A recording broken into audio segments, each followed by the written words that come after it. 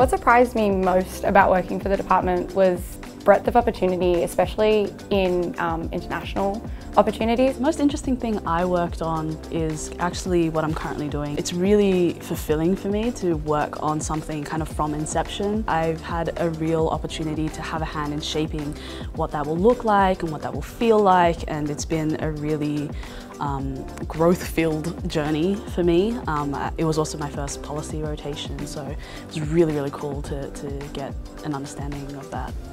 That's so cool. I think the most interesting thing that I've worked on was um, engaging with ICAO, which is the International Civil Aviation Organisation. Um, it's part of a UN body and being able to sit in on working group meetings from like 11 p.m. because it's Australia and mm. nothing's ever in our time zone. Um, but just seeing how our department interacts mm. with um, all these like overseas countries and how we balance our interests was really, really cool.